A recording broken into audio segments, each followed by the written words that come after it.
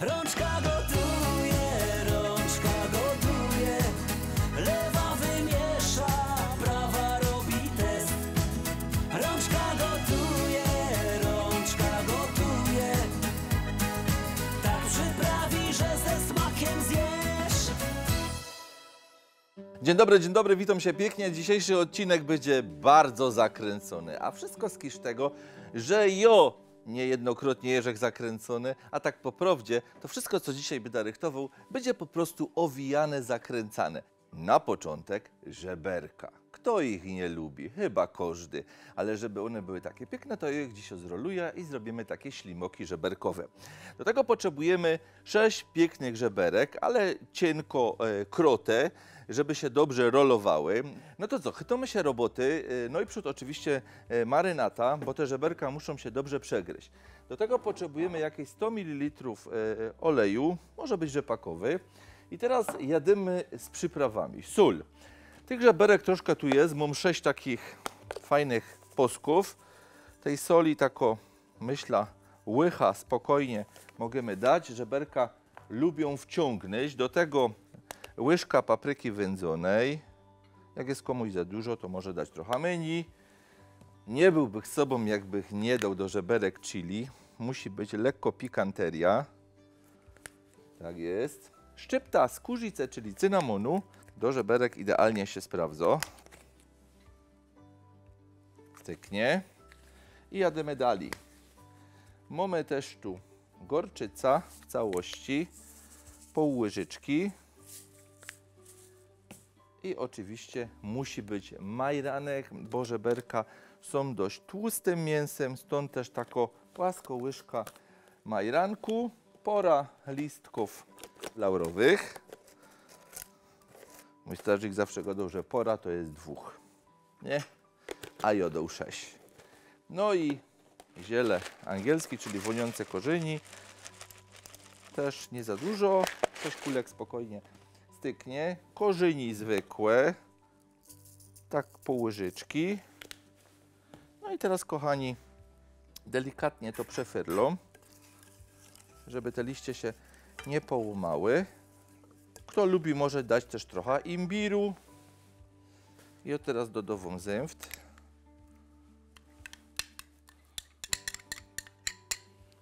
To jest moja ulubiona marynata do żeberek. Ketchup.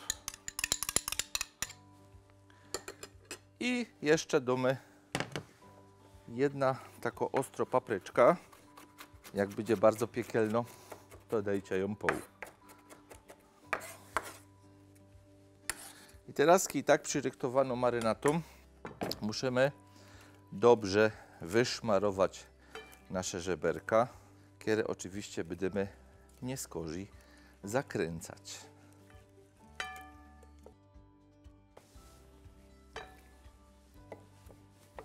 Wezmę se pędzel i marzymy.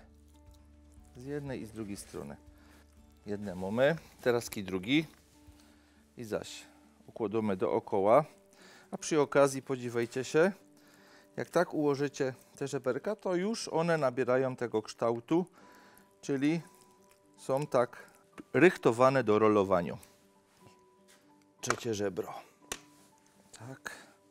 I zaś rolujemy. Te żeberka troszkę muszą postać, przynajmniej godzina, żeby tak poleżały w tej marynacie. A ja teraz przyrychtuję sobie dwie cebule. I te cebule, słuchajcie, jak pokryja, to one muszą być pokrote dość grubo. W takie, takie cząstki. Idzie też pokroć cebula drugim sposobem, po prostu w takie plastry. Do tego potrzebujemy te śliwki. Jedna jeszcze papryczka ostro, która też kleja w takie grubsze kążki, bo ja te kążki będę styrkać między te żeberka. No i teraz muszę sobie wziąć glazyjki, bo to jest tako zmazana robota. Słuchajcie, bierzemy żeberko. Najlepsze to robić e, już bezpośrednio na blaszce i ściskamy dość fez te nasze żeberka. Ta wykałaczka też nie musi być super długo. Chytamy ta końcówka. No i tak żeby nam się to nie rozjechało. I pierwszy ślimok gotowy. Bierzemy następne i rolujemy, słuchajcie. Najlepiej zacząć od tej części, tej kości jest stosunkowo mało. Końcówka jest idealnie. Podziwiajcie się, jak się te pięknie zrolowało. I teraz słuchajcie, do tych poswijanych żeberek wkładamy to, co tu mam przyryktowane, czyli ostro papryczka, trochę cebulę. Cebula jak się rozepi przy pieczeniu, to fantastyczny smak, aromat, trochę ostrości pomiędzy te, te warstwy. No i jeszcze muszę mieć miejsce na śliwka plus ostro papryczka. Tu była, tu była. Po co ta śliwka? Yy, Śliwka, słuchajcie, jak się upiecze, ona tak delikatnie przymięknie i nado naszym żeberkom takiej fajnej, ciekawej słodyczy. Jako, że została mi marynata, trzeba ją wykorzystać i tak jeszcze po wierzchu posmarować, pomazać. Kochani ludkowie, tak przyryktowane żeberka wsadzamy do piekarnika, kiedy jest nagrzoty do temperatury 200 stopni. A to wszystko po to, żeby te żeberka się tak siekły, e, mięso wtedy się spieko i w środku zostanie bardzo soczyste. Po 20 minutach zmniejszymy temperaturę do 160 stopni i piekemy jeszcze jakoś dobro godzina, czyli umgefer, e, te żeberka by się musiały piec około półtorej godziny. Jak macie taką możliwość, to włączacie oczywiście opcja e, parowania, jakieś 30% pary, a jo spowoduje parowanie w trakcie pieczenia złocistym trunkiem, czyli piwem.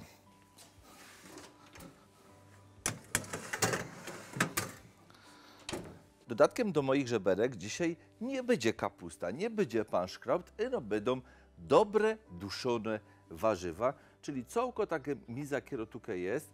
Zaczynamy od tego, że cebula nie może być za drobno, ona zaś tak grubo poszajtowano, na czym rączka smaży oczywiście eno na maśle, a co tam? Oczywiście masło jest bardzo zdrowe, a na taką ilość warzyw te masło się tam totalnie straci. Ona się teraz tam będzie delikatnie szklyła.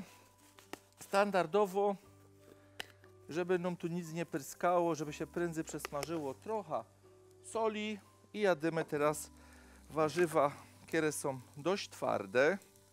Krejemy te warzywa w taką grubszą kostka. To musi być fajne warzywo, które jest delikatnie zrobione. Nie jest twarde, ale nie jest też jednym wielkim gistym. Warzywa korzeniowe trzeba jeść. Są przezdrowe, mają dużo błonnika. Pamiętajcie, że białe warzywa dodatkowo oczyszczają organizm toksyn. Teraz marchewy.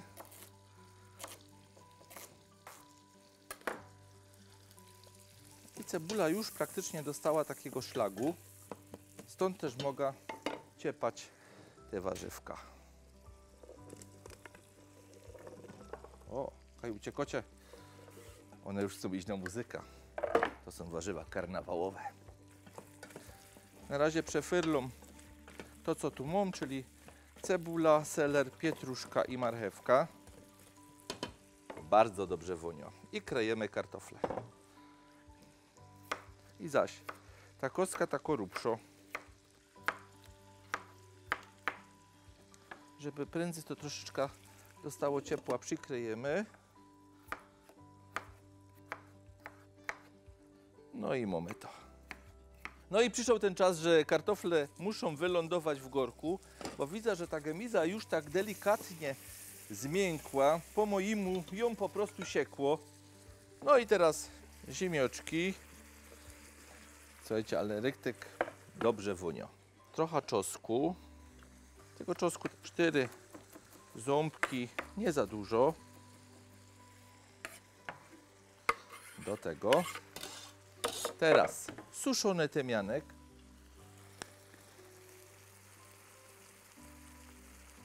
Ja bardzo lubię tymianek, zresztą to jest naturalny antybiotyk, poprawia trawienie, to czemu go nie używać?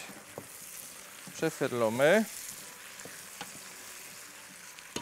Damy jeszcze trochę soli, bo kartofel wciąga sól z tych warzyw, które tu są. I teraz, słuchajcie, podlewamy to wszystko złotym trunkiem. Pół litra maksymalnie. To nie ma być zupa. To mają być warzywa duszone i kapusta, którą tutaj mam, podzielana na 8. Mógł podzielić to na 6 i układą na wierzchu. Właśnie o to chodzi, żeby ona nie była za drobno, bo potem nam się rozpadnie i chcę, żeby całe te kąszczki kapusty były. Przykrywamy i to teraz se tu pomalutku pyko do miękkości.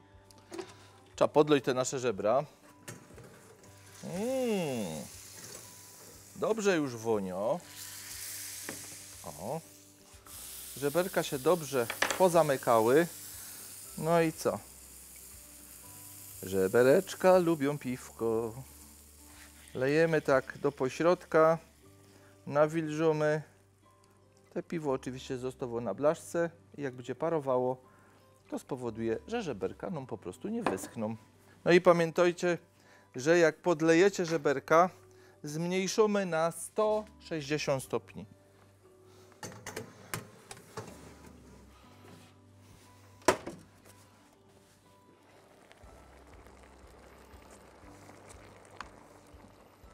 Żeberka upieczone. Woniają przecudownie, wyglądają jeszcze lepszy.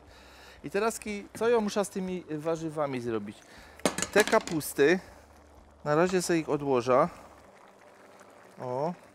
I co ja teraz dodam do tej gemizy, która mi się tu pięknie poddusiła? Wiadomo, że teraz muszę już mieć odkryty gornek, żeby to odparowało. I wlewamy do gorka 50 ml sosu sojowego.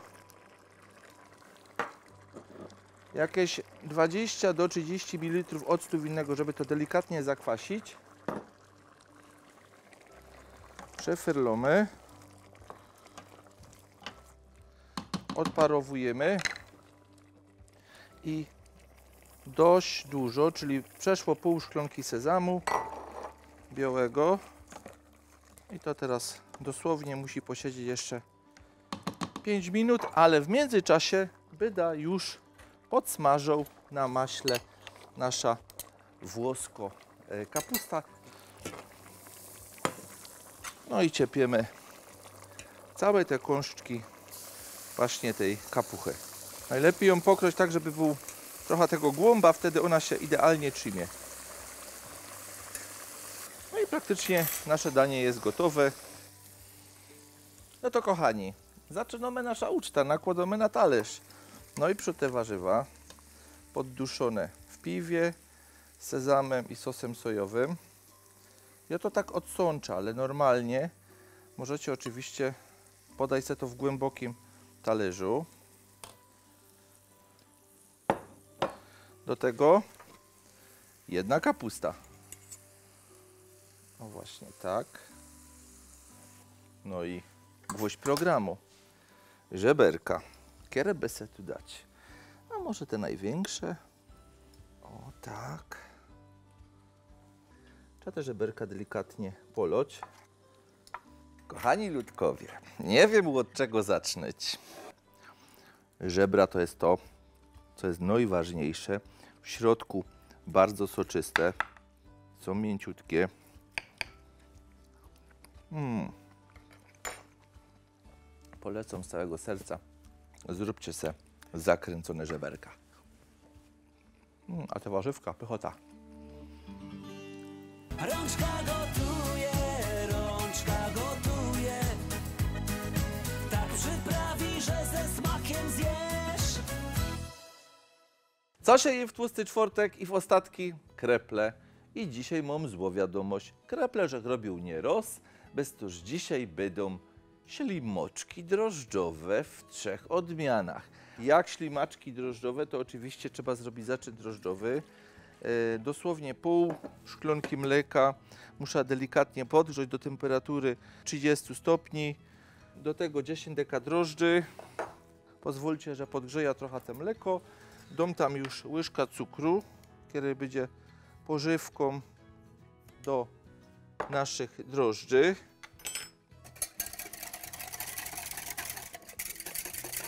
Będziemy robić kilka mąki, bez to, że mamy trzy filungi. No i musi tego być dość dużo, bo jakby kiedy przyszedł, to wiecie jak to jest. Mleko mamy podgrzote, kruszymy drożdże. I zaś to trzeba tak rozświetlać na jednolitą konsystencja. Terazki tako większo łycha mąki pszennej. Wyrobiamy to na jednolitą konsystencja i zostawiamy, żeby nam to porosło. No i mamy. Dobrze wiecie, że jest szóstym i lubię jak się coś dzieje, bez już teraz przyryktujemy masa twarogowo i to będzie pierwszy filong e, do naszych ślimoczków. Mam tu, słuchajcie, pół kilo twarogu. Delikatnie to trzeba posztamfować. Chodzi o to, żeby to nie było mlyte. Ja lubię, jak ten twaróg jest taki grudkowaty e, i on w tych ślimoczkach będzie właśnie idealny. Do tego, słuchajcie, dwa całe jajca. Tak. Cukier waniliowy. Otrzymy sobie też skórka z cytryny. I tak się dziwą na te moje drożdże, że one mi zaraz pitną, bez tuż muszę ich przeloć do miski. Co za gizdy, podziwiajcie się, jak prędko porosły, no. Dobrze. A my kontynuujemy rychtowanie naszej masy twarogowej. Teraski cukier do smaku. Ruzynki, ale suche, w niczym nie namoczone. No i to trzeba to ino połączyć ze sobą. Pierwszy filong mamy gotowy. Rączka gotuje, rączka gotuje. Tak przyprawi, że ze smakiem zjesz. Żeby ciasto drożdżowe było bardzo wilgotne, domy tam oleju, ale żeby dobrze woniało, domy też masła. Pół kostki masła teraz rozkwarzymy. I pamiętajcie, że trzeba to zrobić naprzód, żeby te masło zdążyło wy, wytęknąć, żeby my potem nie sparzyli naszego ciasta drożdżowego. Tu mam cztery żółtka i dwa całe jajca. Rozfyrlą to. To nie musi być fez. Dam tu też cukru waniliowego. Tak. Tak, no to żeby się to połączyło. To nie musi być super ubite. Absolutnie nie. Do drożdży. Terazki, słuchajcie, szczypta soli. Jak damy soli do ciasta drożdżowego, wtedy mąka się lepi na powietrzu i się po prostu te ciasto drożdżowe jest lepsze. Szklonka cukru. No i mąka. Mąka była przesioto i zaraz będziemy to wyrobiać. No czym? No ręką. No i oczywiście reszta mleka, a mleka było do kupy e, jakieś 400 ml. Ciasto jest bardzo fajne. Teraz musimy wtłoczyć tłuszcz, czyli do masła wlewam olej, żeby to nie było za gorkie. O, i cały ten tłuszcz trzeba wtłoczyć w strukturę tego ciasta, ale już nie rozpowtarzał przy cieście drożdżowym, że ciasto drożdżowe potrafi dużo wciągnąć. To tak jak ja. Jakże jest głodny, to umie dużo wciągnąć.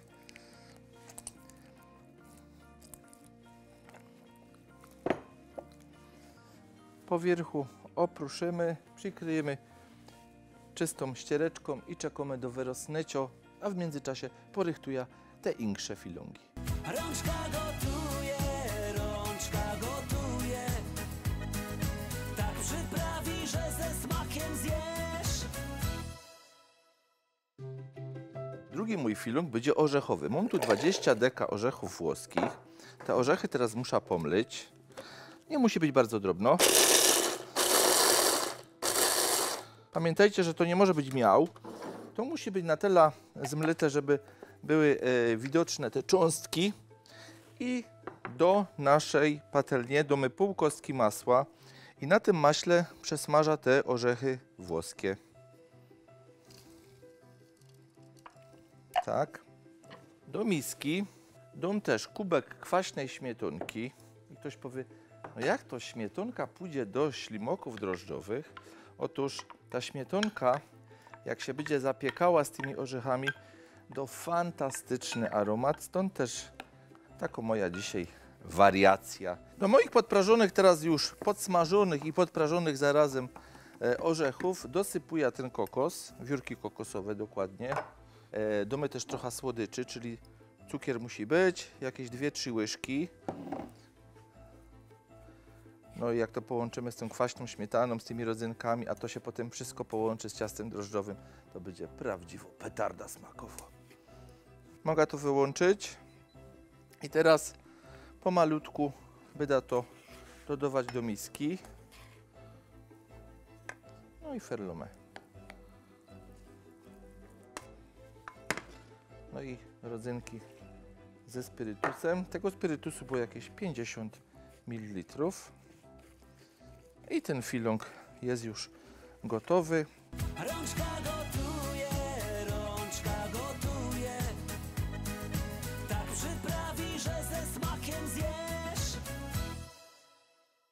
Mam tu marmelada z róży, 50 gramów skórki kandyzowanej z pomarańczy i otrzemy też jeszcze trochę skórki z cytryny, żeby tak to zakwasić. Troszkę skórki z apluzyny, takiej naturalnej. Teraz to jedno widełką najlepsze tak wygatłać i to będzie filong numer 3. Rączka gotuje, rączka gotuje. Tak przyprawi, że ze smakiem zjesz. Ciasto pięknie nam porosło. Słuchajcie, i teraz trzeba go podzielić na trzy części. Podsypujemy se stolnica mąką.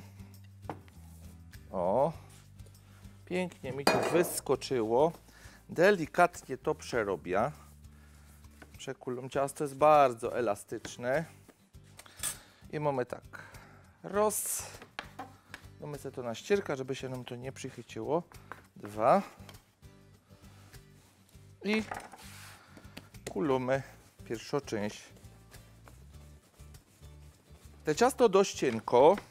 Mniej więcej muszę rozkulać to równo. Tak.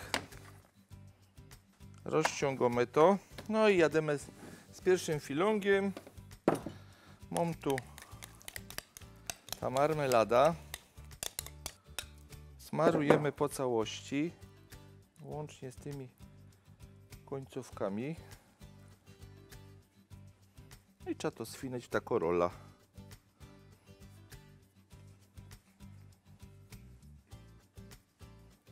Tak, pyk. Trzeba to teraz pokroć w takie ślimoki, kierę układamy jeden kole drugiego. E, Fajnie by było, żeby nie za blisko, bo się mogą nam posklejać. Tak, może się tu jeszcze zmieści. Jasne, że się zmieści. I tak samo, słuchajcie, robimy z tymi inkszymi filongami. Ostatnią rzeczą, którą trzeba zrobić przed pieczeniem jest lekko szmyrnąć białtkiem po wierchu. To będzie taka glazurka, a przy okazji e, te ciasto będzie się pięknie błyszczeć. I moje ślimoczki pieką się dość krótko, od 25 do pół godziny na piękny, rumiany, złoty kolor przy temperaturze 200 stopni. To by się dzisiaj trochę zakręcili, ale powiem szczerze, że te ślimoczki wyglądają całkiem dobrze, a wy jak chcecie po prostu takie pyszności sobie zrobić, czy żeberka, czy takie drożdżowe ślimoki, to po prostu już wszystko wiecie, kupujecie towar i chytocie się roboty. A my się już wnet widzimy, bo za tydzień myślę, że też będzie ciekawie kulinarnie. Trzymajcie się, pysk!